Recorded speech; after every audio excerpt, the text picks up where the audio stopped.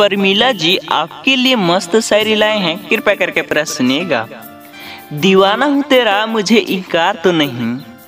कि परमिला जी, दीवाना हूँ तेरा, मुझे इनकार तो नहीं। कैसे मैं कह दूँ, मुझे प्यार नहीं। कुछ शरारत तो तेरी निगाहों की भी थी।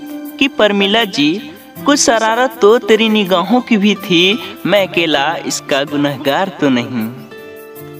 दिल पर आए इल्ज़ाम से पहचानते हैं अब लोग तो मुझे तेरे नाम से जानते हैं।